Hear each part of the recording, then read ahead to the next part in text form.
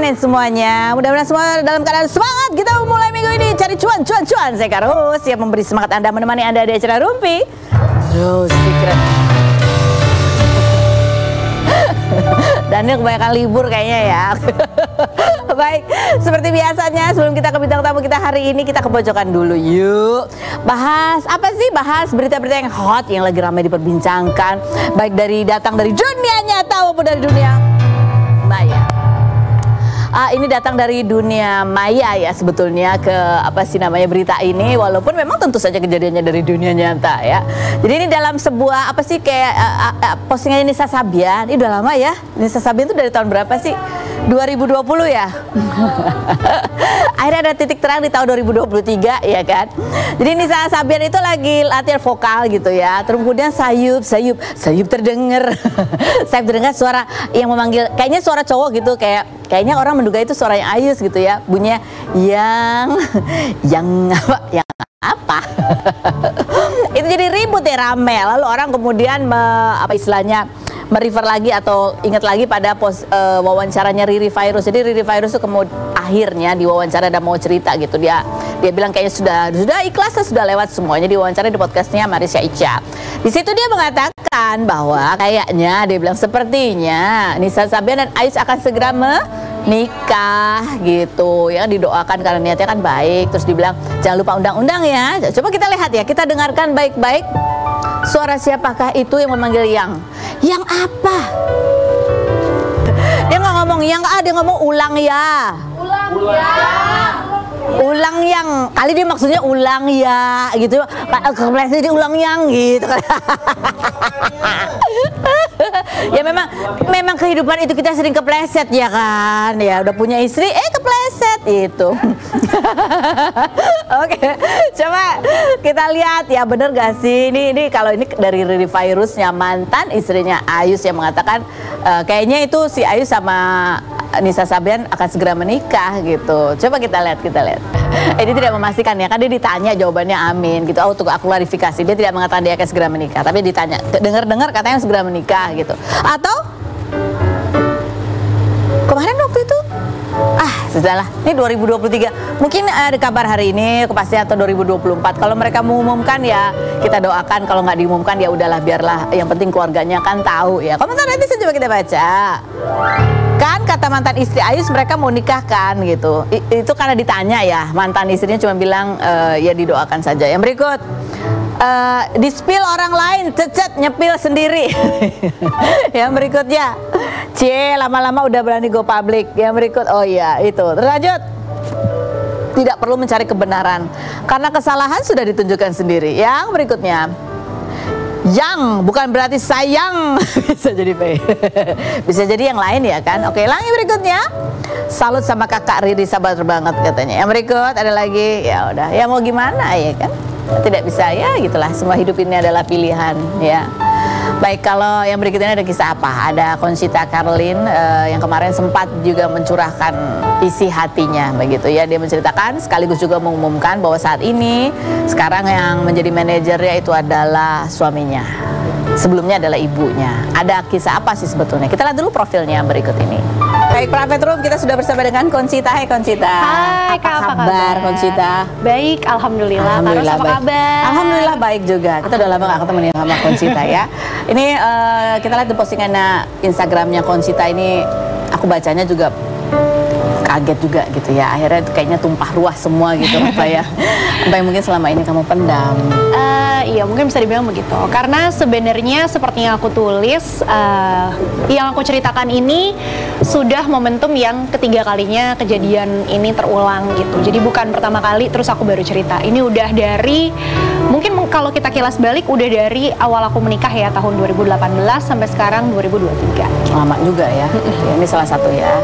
Ternyata eh, aku eh, pokoknya dari aku menikah penghasilanku itu diambil dan diakali gitu ya. Jadi Concita ini tadinya dimanajeri oleh ibunya. Gitu. Dia kamu tidak pernah tahu penghasilan kamu berapa. Gak pernah tahu. Gak pernah pegang langsung. Gak pernah, karena aku tipe yang tidak pernah mempertanyakan. Bahkan sampai aku udah menikah pun rekening untuk gaji itu bukan aku yang pegang. Aku hanya cukup pegang satu rekening untuk transport harian, jajan. Jadi sampai kamu menikah pun Sampai kamu tetap menikah masih seperti itu. jatah uang saku begitu. Eh, bukan jatah uang saku, tapi untuk transferan itu semua masuk ke satu rekening bank, yang kemudian dari rekening itu baru ditransfer ke rekening pribadi aku. Oke. Aku Oh, jadi tapi sering jumlahnya kali ya kamu nggak pernah nanya? Jumlahnya nggak pernah nanya. Jadi hanya tahu misalnya ada eh, schedule tuh mingguan kan. Hmm. Hari Senin syuting apa, Rabu syuting apa, Kamis syuting apa, angkanya sekian. Tapi aku hanya diberitahu dalam bentuk chat. Jadi nggak pernah ada kayak lihat kontrak dan lain sebagainya Hmm. gitu nggak pernah. Dan aku tidak pernah merasa perlu menanyakan karena that's my mom gitu kan. Oh, kayak buat apa aku nanya ke orang tua. Duh, baru mulai. Jangan gitu dong harus ngeliatinnya jadi salting. Ya seperti itu. Ya ini pasti berat buat kamu. Ya lumayan. Still hanging in there. lumayan.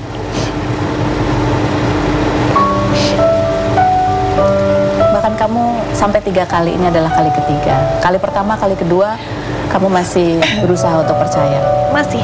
Bahkan eh, kali kedua rekening yang digunakan nggak aku minta, nggak aku cek sama sekali.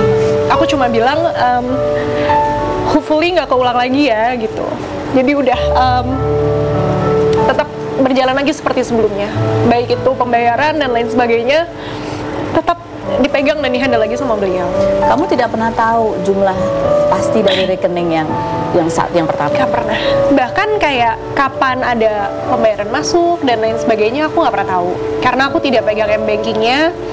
Dan selama ini pembayaran yang aku terima ke rekening pribadi aku itu sistemnya setor tunai. Jadi aku nggak bisa trace dikirim dari rekening mana, atas nama siapa rekening itu. Jadi aku hanya terimanya setor tunai sekian, nanti baru kemudian ada penjelasan, oh itu untuk pembayaran ABC yang dijabarkan sama orang tua. Kenapa kali ini ini benar-benar membuat kamu merasa ini puncak ya kamu sudah tidak bisa lagi? Em, karena aku udah punya anak ya kak, Eh, aku udah punya anak dan aku sempat ada di posisi nggak berdaya banget sebagai orang tua. Karena em, aduh sorry, so sorry. anak aku masuk rumah sakit em, karena aku hanya pegang rekeningnya untuk transportasi dan akomodasi aku hari-hari uang aku nggak cukup waktu itu. Masih ada suami memang suami juga alhamdulillah bekerja. Tapi seperti yang aku bilang di story kan ya em, karena di atas kertas harusnya penghasilan aku lebih besar tabungan dan lain sebagainya dipercayakan ke aku. Tapi at that time anak aku masuk rumah sakit aku hampir nggak bisa bayar. Bahkan kalau aku harus bayar sendiri aku nggak bisa. Akhirnya aku pakai uang suami aku. Meskipun emang paham tetap uang sama-sama gitu kan. Dan di situ aku inget banget sempat ada omongan dari orang tuaku yang lumayan aku inget lah sampai sekarang gitu. Bahkan sempat ditawarin juga kalau mau pinjem pakai uang aku dulu aja nggak apa-apa kok gitu. Pada saat itu aku me- menganggap itu sebagai hal yang baik gitu. Maksudnya kayak oh iya orang tua gue selalu ada buat gue gitu. Orang tua gue selalu em, membantu even di saat aku udah nggak anak-anak lagi bahkan aku udah punya anak sendiri gitu. Tapi ternyata baru belakangan aku tahu di momen itu pun penghasilan aku udah dimanipulasi gitu. Dan uang yang tanda kutip selama ini aku pinjam terus aku menganggap itu adalah utang budi yang bikin aku ngerasa kayak kok gue dari dulu kerja masih belum bisa mandiri juga ya masih bergantung sama orang tua. Ternyata itu adalah ya uang aku sendiri gitu. Jadi aku ngerasa kenapa ini saatnya aku harus speak up? Aku udah capek banget banget dari segi mental. Aku ngerasa kayak anak yang nggak berguna nggak bisa mandiri. Aku punya banyak label gitu ya di dalam diri aku yang aku rasa udah saatnya aku copotin satu persatu. Karena bisa jadi label itu nggak seperti kenyataannya gitu. Apa label-label itu? yaitu label eh, aku nggak bisa ngatur uang sendiri makanya aku masih banyak bergantung sama orang tua. Em, aku anak durhaka. Em, karena aku suka mempertanyakan kayak kapan ya ada gajian yang masuk? Padahal sebenarnya emang aku menanyakan hak aku karena ada alasan-alasan tertentu. Aku orangnya cuek banget kan kak soal uang gitu. Gaya hidup aku juga biasa-biasa aja. Jadi kalau sampai aku mempertanyakan kapan ya fee aku masuk? Itu artinya memang ada satu urgensi atau kebutuhan mendesak. Ketika kamu minta itu sempat ada terlontar oh, anak durhaka nanya-nanya nggak percaya sama orang tua. Explicitly seperti itu. Kata-katanya selalu uh, kalau kamu terlalu banyak tahu tentang uang, penghasilan kamu itu akan merubah kamu. Sekarang aja kamu udah berubah, itu satu. Yang lebih nyakitin lagi, aku nggak tahu sih ini boleh diomongin di TV apa enggak, karena agak uh, sensitif. Kalau kamu mau rezeki kamu lancar ya kamu sholat dong. Makanya sekarang rezeki kamu seret karena kamu jarang ibadah gitu. Padahal ya faktanya nggak seperti itu. Bukan karena hal tersebut. Jadi berapa banyak sebetulnya yang kamu dibiarkan tidak tahu? Berapa persen? Aku nggak, jujur aku nggak tahu kak. Sampai sekarang pun kamu masih sampai tidak. sekarang nggak tahu karena sampai sekarang pun aku serahin ke suami aku untuk kamu aja dia yang cek, kamu aja yang Kenapa cari bukan tahu. kamu yang cek? Karena aku nggak sanggup. satu nggak sanggup mungkin ya dan kedua aku ngerasa kayak aku udah terlalu capek udah di titik yang bener-bener kalau ada satu fakta lagi yang mungkin aku tahu kayak aku bisa beneran depresi atau gila atau I'm gonna I'm gonna need Help. professional help gitu. Nggak nggak nggak bisa bener-bener udah nggak bisa. Otak aku kapasitasnya udah penuh hati aku udah penuh mental aku udah penuh gitu. Makanya sekarang aku serahkan ke suami aku begitu pula untuk tunggakan-tunggakan yang mengatasnamakan aku ke orang-orang lain. Itu juga aku minta suamiku untuk runutin semua berapa. Nanti baru lebih baik aku fokus ke solusinya yaitu ya aku fokus kerja untuk gimana caranya bisa balikin itu gitu.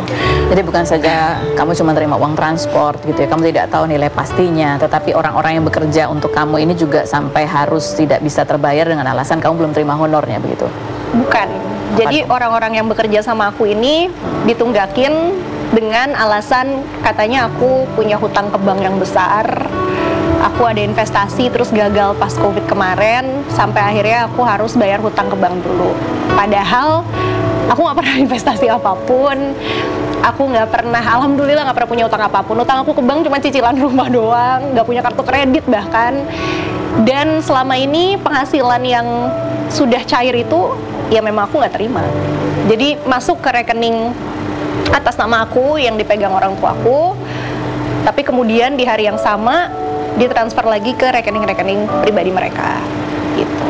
Dan ada aku sempat lampirkan juga salah satu contohnya ada di storyku gitu. Di saat yang sama juga ditransfer ke rekening pribadi mereka. Kamu juga sempat mengatakan bahwa ada uh, tentang uh, ayah sambung kamu gitu ya, mengatakan bahwa kamu menghormati beliau. Ya. Beliau selalu menasehati supaya ya udah lah gitu, jalin hubungan yang baik. Tapi ternyata uh, bilang bahwa beliau juga bagian dari ini. Karena ternyata justru dari pengecekan yang dilakukan suamiku baru ketahuan dari ada pembayaran masuk itu bawah-bawahnya langsung ditransfer langsung dikirimkan ke rekening atas nama ayah sambungku. Jadi kalau selama ini beliau hanya diam aja terus kayak seolah-olah bukan bagian dari itu semua, I don't think it's possible. Pasti beliau tahu. Gitu. Jumlahnya melebihi 20% kan biasanya kalau manajer potongannya ada 20%, 30%. Melebihi itu Apanya nih? potongannya. kalau sebenarnya di atas bukan di atas kertas karena kita tidak pernah ada kontrak kan orang tua kandung ya perjanjiannya 30-70 untuk profesional. Tapi pada kenyataannya 100% ke sana. Karena ya itu tadi ada transferan masuk langsung ditransfer lagi ke rekening pribadi mereka.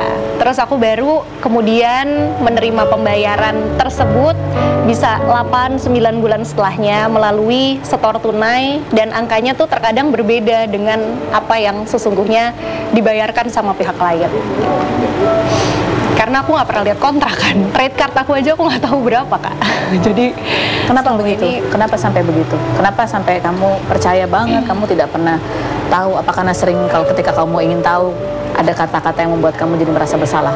karena despite apa pun yang em, sering dilabelkan kepada aku beneran demi Allah aku tuh sangat tidak apa ya aku nggak pengen hidup tuh hanya kata-katanya aku nggak mau dipusingkan dibikin stres sama uang gitu. Jadi kayak aku percaya ya dengan aku kerja giat insya Allah um, rezeki pasti akan ada. Hidup juga sesuai aja sama apa yang aku punya gitu. Jadi aku nggak pernah mikirin kayak harga aku sekarang berapa dulu berapa gajian tuh di tanggal berapa dari TV mana itu nggak pernah ngecek sama sekali. Dan aku cuma berpikir bahwa orang tua aku pasti tahu yang terbaik. Aku nggak perlu tanya-tanya nggak perlu um, minta rincian apa segala macam karena orang tua aku pasti tahu yang terbaik buat aku. Gimana caranya? Atau apa yang terjadi ketika kamu pertama kali tahu bahwa tadi ada yang diakali, ada yang disembunyikan gitu? Em, kali pertama ini kan tiga kali ya. Kali pertama ketahuan karena aku lumayan malu. Dan itu terjadi di stasiun televisi ini juga aku kira belum dibayar sekian bulan. Kebetulan karena programnya berjalan cukup lama aku koneksinya juga sudah cukup erat sama tim yang bekerja di sana. Aku minta tolong dicekin. Ternyata katanya sudah dibayar. Itu terjadi satu kali. Terus kejadian yang kedua kali sama. Eh, ada satu proyek angkanya cukup besar. Aku syuting lagi hamil waktu itu nggak dibayar-bayar sampai satu tahun lebih. Dan kenapa sampai akhirnya aku lumayan ngejar? Karena posisinya aku pun selama satu tahun itu hampir tidak ada pemasukan. Karena kalau kata orang tuaku pandemi. Jadi pihak-pihak klien terlambat melunaskan. Diceklah akhirnya coba suamiku kontak beberapa teman yang kerja di TV dapat talent di televisi tersebut dikabarin ternyata udah lunas juga dua bulan setelah aku kerja bahkan sudah lunas dari situ akhirnya coba ngomong sama orang tua akhirnya jujur bilang katanya ada sekian yang dimanipulasi meskipun angkanya berbeda dengan apa yang suamiku dapat dari temennya yang bekerja di televisi ini Aku yang separuh juga. Iya. Tapi again di situ aku nggak mau perpanjang karena menurut aku ya udahlah mungkin ada kebutuhan. Aku juga masih punya adik kan kak. Aku punya dua orang adik. Jadi aku ngerasa em, pada saat itu hopefully eh, yang diambil memang untuk bisa bermanfaat buat adik-adik aku gitu. Ternyata Em, adikku yang paling kecil ternyata udah tiga tahun gak sekolah dan aku nggak tahu